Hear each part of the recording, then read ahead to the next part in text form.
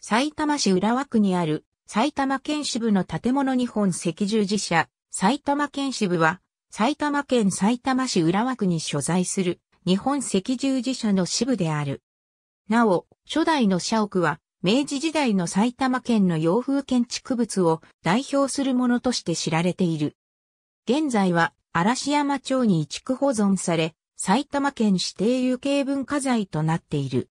埼玉県支部は地域の中核医療機関として埼玉赤十字病院、小川赤十字病院、深谷赤十字病院を運営し、高度医療の提供や救急医療体制の整備を行っている。また、埼玉県赤十字血液センターや8カ所の献血ルームを設置している。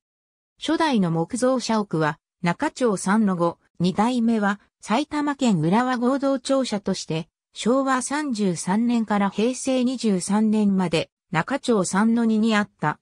現在の3代目社屋は超神社の隣にある。初代社屋は明治38年に山下慶次郎によって設計された木造の洋風社屋である。1983年まで当時のまま県庁敷地内に残っていたが、埼玉県県民健康センター建設のため、嵐山町に移転され、保存されている。一区後小学校として使われた後、現在は幼稚園として使われている。